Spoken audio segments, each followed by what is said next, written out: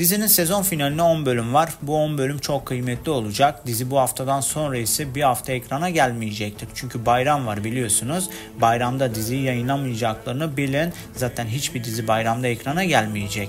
Dizi diğer perşembe ekranda olmayacak. Ardından bir sonraki perşembe kaldığı yerden devam edecektir. Dizi ekibi 28. bölüm çekimleri durdurmadan bayrama kadar çalışacaktır. Bayramda ise çekimleri durdurup bayramın bitmesi bekleyecekler. Bayram bittikten sonra ise 29. bölüm çekimlerine başlayacaklardır.